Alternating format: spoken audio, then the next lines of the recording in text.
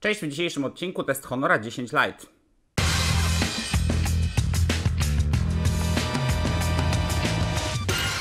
Ogłaszam oficjalnie, poddaję się w temacie rozkminiania nazewnictwa smartfonów marki Honor. 10 Lite powinien być wszakże smartfonem, który jest tańszą, prostszą wersją dziesiątki, czyli flagowca z zeszłego roku. Natomiast już na pierwszy rzut oka wiadomo, że telefon mógłby się nazywać w każdy dowolny inny sposób. W designie czy specyfikacji modelu nie ma bowiem niczego, co nawiązywałoby do zeszłorocznego flagowca. No chyba, że za coś takiego uznać fioletowo-różowo-niebiesko-zieloną tapetę, czyli w kolorystyce charakterystycznej dla wiodącego wariantu Honora 10. Ale jeśli tak, to to połączenie jest liche jak Wi-Fi w Pendolino. Bryła 10 Lite jest identyczna jak wszystkich innych smartfonów od Huawei i Honor na przestrzeni ostatnich lat. Jest też ekran wypełniający front w znacznym stopniu, producent chwali się 90% oraz podbródek i wcięcie na górze. Ten pierwszy jest niewielki, to na plus. Notch też został zredukowany na nową modłę i jest de facto półokręgiem wtopionym w górną ramkę. To dobrze, bo dzięki temu w mniejszym stopniu ogranicza funkcjonalność. Najciekawszym stylistycznym trikiem telefonu jest jednak gradient plecków. Dostępne są oczywiście wersje mniej fikuśne, czarna i niebieska, ale ta w kolorze Sky Blue jest czymś nowym i efektownym. Jasny błękit na dole przechodzi płynnie w srebrną barwę na górze. I przyznaję, podoba mi się to bardzo, bardzo. Huawei wprowadzając na rynek urządzenia w wersji Twilight zapoczątkował modę na takie gradienty i fajnie, że firma córka rozwija pomysł. Zresztą zaryzykuję stwierdzenie, że gdyby nie ten zabieg, Honor 10 Lite nie wyróżniałby się stylistycznie w zasadzie niczym. W kwestii jakości wykonania urządzenie dość skutecznie udaje, że jest zrobione z metalu i szkła. Odbijające światło plecki i błyszczący korpus są jednak plastikowe. Być może dlatego w zestawie dodawany jest przezroczysty silikonowy pokrowiec. Myślę, że bez niego 10 Lite szybko straci na urodzie, ze względu na podatność na zadrapania. Jeśli smartfonu odważnie używalibyście jednak bez niego, zauważycie na pewno, że jest mniej śliski niż szklane telefony, ale tak samo łatwo się brudzi. Przyciski są dobrze rozmieszczone i są ok, jeśli chodzi o wygodę obsługi. Urządzenie przyjemnie trzyma się w dłoni ze względu na zagięcie plecków w kierunku korpusu i oczywiście 10 Lite należy trzymać z daleka od wszelakich takiej wilgoci. Wodoodporność w tej klasie nadal jest rzeczą raczej niespotykaną. Podobnie jak w zasadzie wszystkich innych Honorach i Huawei'ach, na froncie seryjnie przyklejona jest folia ochronna.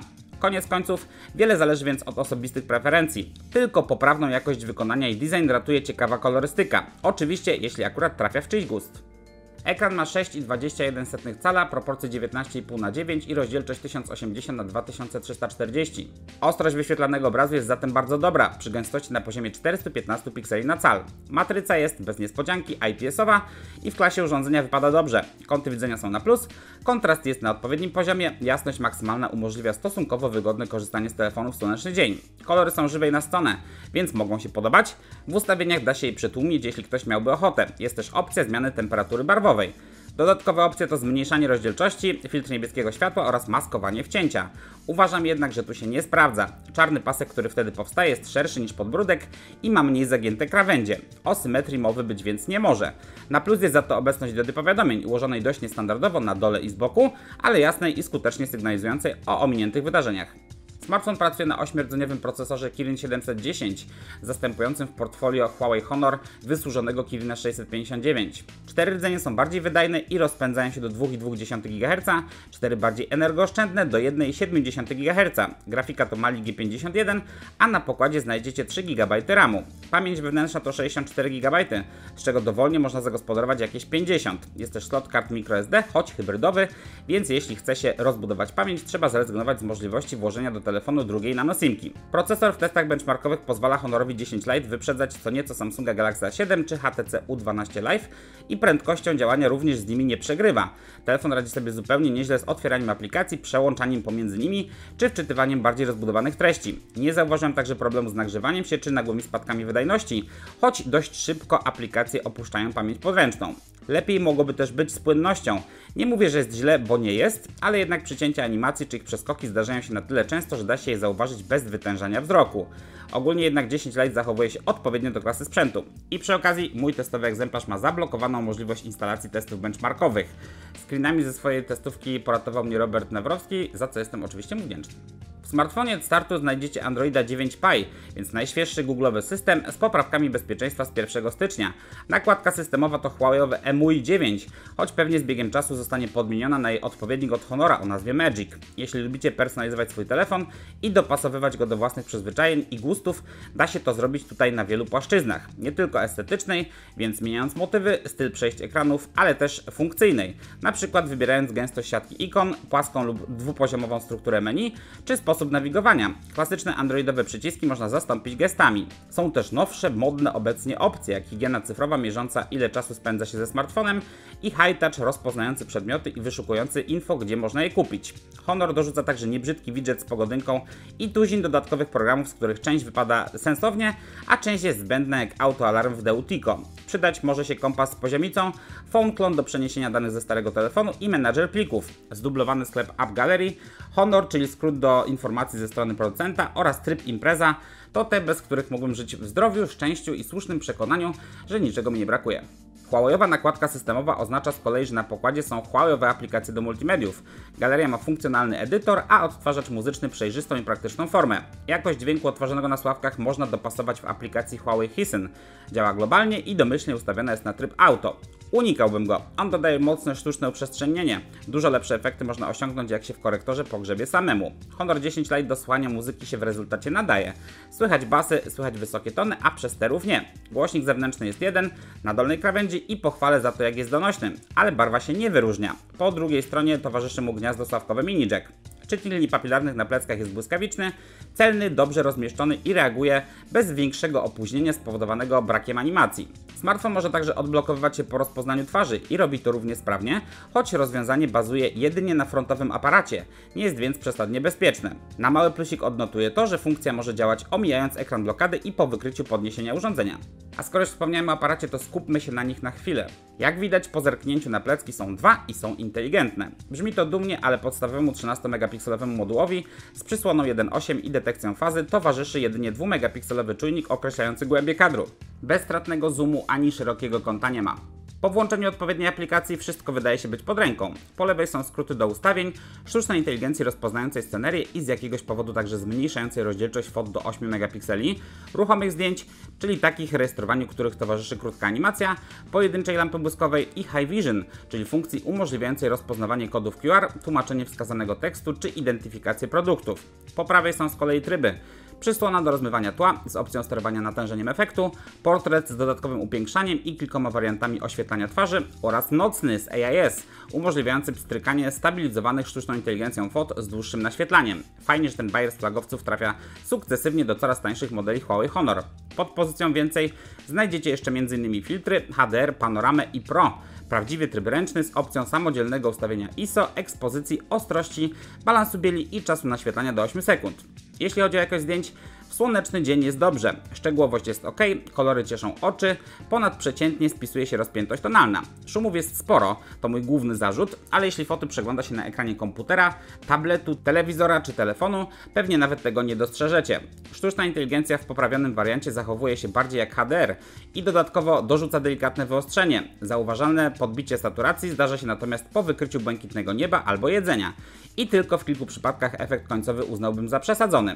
Rozpoznawanie krawędzi w trybach przysłona i portret wypada zaś mocno przeciętnie, choć należy za pozytyw uznać, że telefon lepiej radzi sobie z ludźmi niż z przedmiotami. W nocy z kolei Honor 10 Lite rozczarowuje. Jeśli robicie zdjęcia w automacie, telefon na siłę je rozjaśnia podnosząc ISO. To jest bardzo widoczne przede wszystkim wieczorem, gdy dookoła niewiele widać. Efektem ubocznym jest oczywiście znaczne zwiększenie szumu, usuwanego potem przez algorytm, a to nie może kończyć się inaczej niż wielką utratą szczegółowości. Foty wydają się zatem miękkie i delikatnie rozmyte, choć oddaje, rzeczywiście widać na nich sporo. Rozwiązaniem wszystkich problemów mógłby być tryb nocny ze wsparciem sztucznej inteligencji, ale niestety w zasadzie wszystkie zdjęcia, które zrobiłem przy jego pomocy straszą kosmicznym zaszumieniem powstałym w wyniku mocnego wyostrzania. Nie uważam, żeby to co widzicie teraz na ekranie nadawało się specjalnie do szerokiego wykorzystywania. Nawet przy mocnym zmniejszeniu szumy są łatwo zauważalne. Oddaję jednak, tryb nocny rzeczywiście potrafi zniwelować prześwietlenie i wygrzebać jakieś konkretne detale z cieni. Jeśli zależy Wam na czytelności np. konkretnego napisu, można po ten bajer sięgnąć. Całościowo zatem Honor 10 Lite robi zdjęcia jak tańszy średniopółkowy smartfon. Dobre w sprzyjających warunkach, ale jeśli ich brak, nie ma się co spodziewać cudów, czyli znacznie słabsze niż jego kilka stów droższy brat po fachu Honor Play albo testowany przeze mnie niedawno Samsung Galaxy A7. Aparat na froncie wypada na podobnym poziomie. Na papierze zapowiada się imponująco, 24 megapiksele i światło 2.0, ale upiększanie jest agresywne, tryb portretowy wypada słabo, rozmywanie uszu lub policzków jest na porządku dziennym. Często pojawiają się też prześwietlenia. AI nie jest w stanie pomóc i w efekcie tylko z kilku selfiaków jestem zadowolony. Dodatkowych punktów nie będzie też za wideo. 10 Lite radzi sobie maksymalnie z 1080p przy 60 klatkach na sekundę i nie ma żadnej stabilizacji. Szczegółowość i płynność są zatem ok, ale widać każde drgnięcie dłoni, każdy krok, każde potrząśnięcie telefonem. W 2019 roku można i należy oczekiwać więcej. Telefon obsługuje LTE kategorii 12, ma Bluetooth 4.2, ma także NFC. To jest świetna rzecz. Część konkurentów, szczególnie od Xiaomi, w tej kwestii mocno nie domaga. Na pokładzie jest także klasyczne radio FM i nigdy przez cały okres trwania testów nie miałem żadnych problemów z jakością połączeń głosowych. A bateria ma 3400 mAh i spisuje się nieźle. Do dwóch dni pracy w cyklu mieszanym i solidny jeden pod mocnym obciążeniem to rezultat jakiego można się było spodziewać. Ładowarka w zestawie jest 10W i karmi telefon w tempie mniej więcej 1% na minutę. Szybsze ładowanie nie jest obsługiwane. Serce mnie za to boli jak widzę na dolnej krawędzi gniazdo micro USB. Jest 2019 rok. Można byłoby oczekiwać, że wszystkie nowo prezentowane smartfony będą już miały USB-C. Podsumowując, Honor 10 Lite kosztuje na start 999 zł. I jakkolwiek na tle konkurentów, powiedzmy marek o długiej tradycji dostępnych za podobne pieniądze, nie wypada źle, to w zestawieniu z agresywnymi chińskimi producentami nie zachwyca. A w zasadzie z jednym i oczywiście wiecie o którym mówię. Honor 10 Lite w tym wariancie kolorystycznym wygląda znakomicie, ma niezły ekran, dobry procesor i świetnie gra. Ale aparat mnie rozczarował, obudowa jest plastikowa, a reszta cech niczym się nie wyróżnia. Dla sprzętu jest jednak szansa, szczególnie w aspekcie foto-wideo. Da się to wiele poprawić aktualizacjami, ale póki to się nie stanie w zestawieniu z obecną ceną, Honor 10 Lite mojej rekomendacji nie dostanie. Być może w przyszłości jak mocno stanieje, natomiast w chwili obecnej myślę, że dużo lepiej dozbierać do znacznie lepszego brata Honora Play, albo ewentualnie postawić na znacznie bardziej konsekwentną konkurencję. Jaka jest Wasza ocena Honora 10 Lite? Czy w telefon warto zainwestować 999 zł? Czy podobają Wam się te plecki w tym ciekawym kolorze, w tym ładnym gradiencie? Napiszcie, co sądzicie. Jeżeli macie jakieś pytania odnośnie tego telefonu, oczywiście również możecie zerknąć do sekcji komentarzy, tam je zostawić. Ja się postaram odpowiedzieć. No i oczywiście, jeżeli odcinek Wam się podobał, zostawcie łapkę w górę. Zapraszam też, jak zawsze, na wszystkie moje media społecznościowe. Tam teraz są relacje, albo zaraz się zaczną um, relacje z targów MWC w Barcelonie. W związku z tym myślę, że warto zaglądać. A ja się z Wami żegnam. Trzymajcie się, cześć.